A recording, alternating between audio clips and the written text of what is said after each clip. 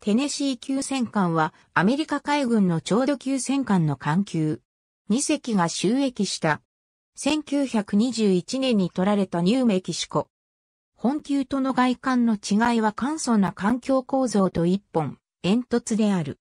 後方に第一次世界大戦時のクレムソン、旧駆逐艦の一隻が見えるアメリカ海軍の1915年度計画で2隻の建造が議会に認められた。当時のアメリカ海軍における海軍の立案理論は、アルフレッド・セイアーマハン少将に強く影響を受けており、敵艦艇を捜索する能力は二の次に考えられていた。そのため敵よりも強力な艦砲と強固な装甲を持つことが重要であるとみなされていた。テネシー級はその大環境法主義を具現化した艦とも言える。テネシー級の基本設計は1913年頃から始められていたが、海軍内部での研究結果が未成熟なために、ペンシルベニア級の改良型である戦艦を2隻、建造することとし、これがニューメキシコ級である。そして1916年度海軍計画において、ニューメキシコ級の設計実績に、ユトランド沖海戦の戦訓を取り入れて改め、設計された初のアメリカ戦艦として、テネシーとカリフォルニアと名付けられて2隻が建造、収益した。この時期、仮想敵国として、ドイツ帝国海軍の戦艦の存在があり、高所速砲による長射程を持つドイツ式の大砲は脅威となり、アメリカ戦艦も対抗できる長射程の大砲と高い耐久性を持つ防御様式の改良が推し進められた。テネシー級以前の戦艦の主砲行角は15度までしかなかったが、テネシー級の14インチ砲においては倍の30度までの高い行角を取ることができたため、その射程は1万ヤードほど延伸した。防御面においては広範囲に及ぶ実験及び試験の結果、テネシー級の水戦下の走行はそれ以前の艦に比べ強固なものとなった。また、上部構造物には収益時から射撃式装置が設置され、主砲及び副砲には火器管制システムが装備されていた。このため、テネシー級及びコロラド級の5隻は、カゴマストの頂上部の見張り所が大型化し、そこに設置された観測所からのデータを射撃法違反で火器管制を行い、その特徴的なマスト形状は他国からの識別上の特徴であった。その後、アメリカ海軍では長距離射撃の結果を関西機によって測定するようになったため、テネシー級の水平線を越えて砲撃を行う能力は実用的な価値を持つことになった。このため、収益後に水蒸気を搭載して弾着観測を行えるようになった。しかし、遠距離砲撃時の手法の散布界の悪さは変わらない。上、ユトランド沖海戦以降は全球と変わらない水平防御の脆弱さも指摘されていた。テネシー級はアメリカ海軍における標準型戦艦コンセプトの一部であった。その設計概念はアメリカ海軍が低速部隊と高速部隊の包括的運用を可能とするための重要なものであった。標準型の概念は長距離射撃21ノットの速度700ヤードの回転半径及びダメージコントロールの改善が含まれていた。この標準型にはネバダ級、ペンシルベニア級、ニューメキシコ級及びコロラド級が含まれた。1921年に取られたテネシー。上部構造物の2番手砲塔の付近に 12.7cm 速射砲がまだ搭載されているテネシー級の船体形状は全級に引き続き朝鮮主郎型船体である。鋭く前方に傾斜したクリッパー型艦首から艦首甲板上にマーク6918年型35.6センチメートル砲を3連装砲塔に収め、1.2番手砲塔を背負い式で2機、2番手砲塔の基部から甲板よりも一段高い環状構造物が始まり、その上に司令塔が立つ。司令塔の背後から箱型の環境が立ち、船橋で接続させていた。環境構造はニューメキシコ級よりも大型化し、箱型環境を基部として、当時のアメリカ海軍の大型艦の特色である、カゴ状の全部マストが立つ。全部マストの下部に公開環境、頂上部に二層構造となった見張り所を持つ。船体中央部に日本煙突が立ち、その周囲が関西艇置き場となっており、一番煙突の側面部に片弦に一機ずつ立つ単焦灯台を基部とするクレーン2機により運用された。二番煙突の後方で船首楼が終了し、そこから甲板一段分下がって、カゴ状の後部マストと3番4番四方塔が後ろ向きに背負い式配置で2機が配置されていた。1920年代後半に取られたテネシー級。後部甲板上に水蒸気2機が搭載されているテネシー級の副砲である12.7センチメートル速射砲は2番主砲塔後方の上部構造物上に単装砲画で片弦1機ずつ2機と船体中央部にケースメイト配置で放射状に単装で5機の計12機を搭載していた。収益後の1922年に甲板上の12.7センチメートル速射砲2門を撤去して7.6センチメートル広角砲を単装砲画で4機を搭載した。1924年からカタパルト1機を設置して水蒸気1機を運用し始め、1920年代後半にすべての艦でカタパルト1機と水蒸気2機を搭載した。1929年に7.6センチメートル広角砲すべてを撤去し、新型の12.7センチメートル広角砲に更新し、これを単装砲画で8機を搭載した。近接火器として 12.7mm 単装機18丁を搭載した。1941年に12.7センチメートル速射砲2門を撤去して7.6センチメートル広角砲を単装化で4機を追加して搭載した。1942年3月にテネシーは7.6センチメートル広角砲4機を撤去して、代わりに近接火器としてマーク1 2.8センチメートル機関砲を4、連装砲画で4機を甲板上に搭載し、エリコン2センチメートル機関砲を単装砲画で16機を搭載した。また、マスト上に SC レーダーと FC マーク3型レーダーのアンテナを設置した。同年6月にさらに2.8センチメートル4連装機関砲を追加で4機を搭載した写真は1943年のテネシーの写真。高速航行で白波をけ立てているが最大速力は1ノットほど低下している第二次世界大戦において大破着底したカリフォルニアに加えて損傷復旧するテネシーも損傷復旧の際に上部構造物を撤去し、環境構造は大型の箱型環境の上にプレハブ構造の塔型環境が乗る形式となり、サウスダコタ級に近似した塔型環境と一本煙突と後部マストを持つ外観となった。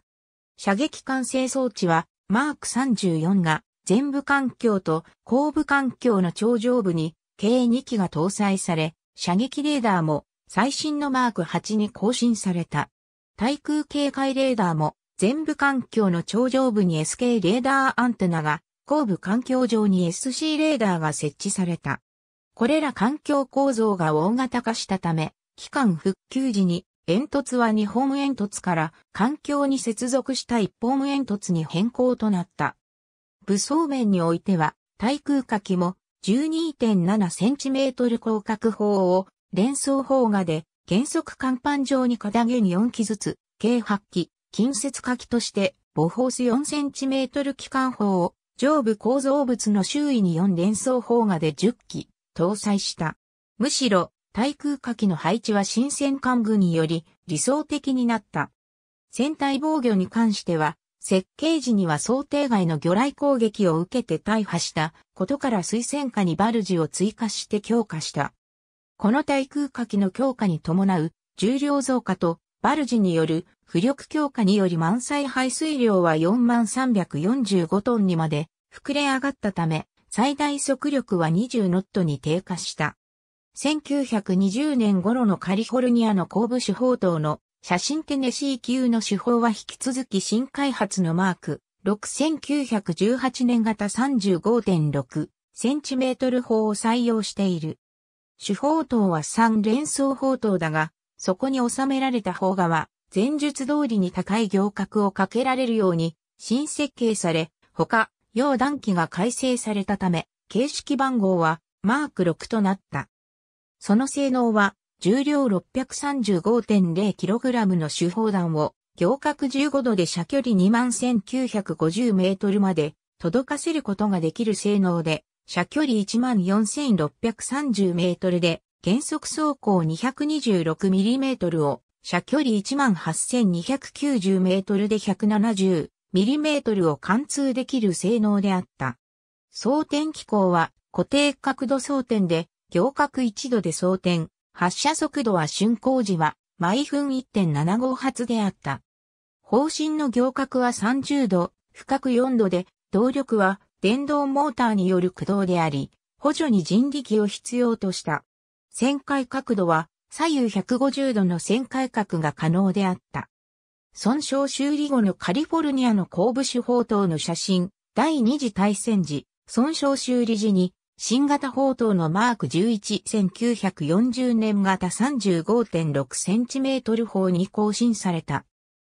その性能は、重量 680.4kg の手砲弾を最大行角30度で射距離33,650メートルまで届かせることができる性能で、射距離13,716メートルで原則走行 416mm を射距離18,288メートルで 286mm を貫通でき、射程27,432メートルで甲板走行 135mm を射程32,004メートルで甲板 177mm を貫通できる性能であった。装填機構は固定角度装填で行角1度で装填、発射速度は竣工時は毎分1.5発であった。方針の行角は30度、深く5度で、動力は電動モーターによる駆動であり、補助に人力を必要とした。旋回角度は左右150度の旋回角が可能であった。副砲は前級に引き続きマークス7910年型 12.7cm 速射砲を採用した。その性能は重量 22.7kg の砲弾を最大行角15度で射程14,490メートルまで届かせられる。この砲を原則ケースメートで片弦6機で12機ずつ甲板上に露天で2機の計14機を搭載した。砲画の不行能力は行角20度、深く15度である。旋回角度は露天で300度、ケースメートで最大150度の旋回角度を持つが、実際は上部構造物により社会に制限を受けた。方針の不行、砲塔の旋回、砲弾の溶弾、装填は主に人力を必要とした。発射速度は前型の毎分6発から毎分8から9発へと向上した。その他に体感用に 53.3cm 魚雷発射管を水戦下に2門を装備した。収益後の1916年に対空火器として1914年型 76.2mm 広角砲が搭載された。その性能は重量 5.9kg の砲弾を最大行角85度で射程9270メートルまで届かせられる、この砲を単装砲が搭載した。砲画の不行能力は、行角85度、深く15度である。旋回角度は、露天で360度の旋回角度を持つが、ケースメートでは、旋回角に制限があった。方針の不行、砲塔の旋回、砲弾の溶弾、装填は主に人力を必要とした。発射速度は毎分15から20発である。写真は1921年のカリフォルニアの写真この時代のアメリカはタービン機関の開発に立ち遅れており、低速時の燃料消費に問題があった。これを改善すべくゼネラルエレクトリック社は独自にターボ発電機推進を開発していた。この形式の利点はタービン機関を簡素化が可能で直結タービンの欠点である低速時の燃費の悪化が少ない利点があった。また防御上の利点では、ボイラー室と推進機関の構成に自由度が高かった。ただし、万能というわけではなく、動力の伝達ロスがタービン機関の約5倍、また発電機と電動モーターの小型化が難しく、製造コストも高いという問題点もあった。このため、数を必要とする駆逐艦や関係の小さい巡洋艦には採用されず、戦艦に主に採用された。軍艦の電気設備の増加や艦内空調の強化、清水製造機や食料保存用の冷蔵庫など、電気が欠かせない時代にあって、本級が採用したターボ発電推進は魅力的であった。しかし、機関区が発電専門に特化していたため、本級とテネシー級以前の戦艦が行ったような機関乾燥が行いづらく、高速化は技術的に難しかった。機関構成はバブコックウィルコックス社製、重油戦小水管管だが、容量の大きなものとなったため、搭載数は12機から8へとに、3に減少している。これに単動タービン2機で発電した電力で、電気モーター4機4軸推進で、公見において、最大出力 28,900shp で、最高速度21.0ノット、燃料9割搭載時に15ノットで12,400回里を発揮した。燃料消費量から重油4,570トンで、速力15ノットで16,600回里を航行できるとされた。発電タービンの形式は比較研究のために、姉妹間で別の形式が採用されており、テネシーはウェスティングハウス社製、パーソンズ式単導体タービン。カリフォルニアは GE 社製、カーティス式単導体タービンで異なっていた。機関配置は船体中心部に位置する発電室にタービン発電機が前後に1機ずつ計2機が並べられた。発電室を左右から挟み込むようにボイラー室が原則に配置され、1室あたりボイラー1機ずつが片弦4室に4機ずつ計8機が搭載された。この工夫により原則防御が破られて、ボイラー室に被害を受けても他のボイラー室に被害を及ぼさないようにされ、さらに発電機をボイラー室が防御しているために推進機の生存性が高められた。発電された電力は制御盤を介して観光部の機械室が重角壁2枚で3室に隔てられた推進機室に外側軸は1室に1機ずつ、中央軸は1室に並列で2機ずつ、計4機が並べられた。炎上したカリフォルニアの写真テネシー級の防御様式は全級に比べて変更はなく広範囲を防御する全体防御形式である。原則走行体は1番手法塔から4番手法塔の弾薬庫を防御すべく長さ125メートル、高さ5.2メートルの範囲を防御した。水線部走行は上側 203mm、最圧部で 343mm、下側 203mm とテーパーしている。水線化防御は多層水雷防御を採用しており、船体長の2、3にあたる前後に広く防御していた。水雷防御は水線化に約5.3メートルの奥行きがあり、厚さ16から 19mm の6枚の角壁で区切られた4層構造で、内側の空気の1層と液体で満たした3層で防御していた。水平甲板の走行は前級から引き続き、原則走行と接続した主甲板走行で敵弾を受け止め、剥離した走行板の断片を下甲板で受け止める複層構造とした。主甲板が最圧部で 89mm、下甲板が38から57メートルでどちらも傾斜しない。主砲塔の走行は前縦は 457mm、側縦 254mm、後ろ縦 229mm、天外 127mm と重走行だった。基部のバーベットは甲板上は 320mm であった。第二次大戦時の損害復旧時には戦訓により甲板防御と水雷防御の強化が行われ、甲板防御は弾薬庫が 140mm 走行、機関区は 165mm 走行へと強化された。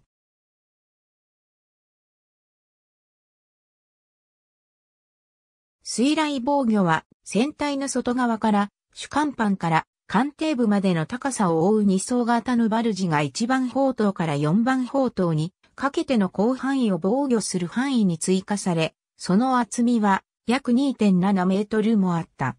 その他は、主砲塔の天外は 178mm から 190mm へと強化された。真珠湾攻撃の後、両艦は大幅な改修が施された。安定性向上のため船体にはバルジが増設され、上部構造は排気の上完全に作り変えられた。51口径5インチ砲及び50口径3インチ体。空砲は他の艦艇にも採用されていた38口径5インチ両用砲に交換された。また、20mm 及び 40mm 対空砲が増設された。この近代化改修後、外観はサウスダコタ級戦艦に酷似した姿になった。テネシー級は評価の高かったニューメキシコ級の改正型として、さらに心臓時より主砲射撃砲位板を含む各種新装備の搭載で戦闘能力が以前の艦より強化されていたので艦隊側からやはり高評価を得たが、ユトランド沖海戦の戦訓から水平防御が脆弱な点が欠点とみなされた。ありがとうございます。